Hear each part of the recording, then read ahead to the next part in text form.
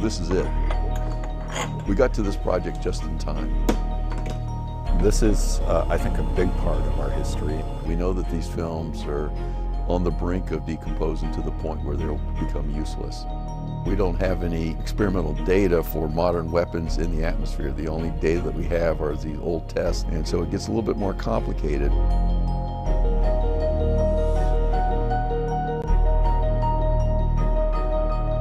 My name is Greg Spriggs. I'm a nuclear weapon physicist. I work at the Lawrence Livermore National Laboratory and I'm in charge of a special project to scan and reanalyze all of the old atmospheric test films so that we can obtain better data for future My name is Jim Moye, worked in the motion picture industry for 40 years plus, uh, and I'm here working at Lawrence Livermore scanning the uh, above ground atmosphere test films. When these films were obtained back in the 50s, uh, EG&G was the company that was responsible for recording the films themselves and then analyzing the films and using the technology they had back in the 50s, it wasn't that accurate. We just decided to try to reanalyze the films and, and come up with better data and reduce the uncertainty of the data for our stockpile stewardship and for understanding nuclear weapon effects and getting a better answer.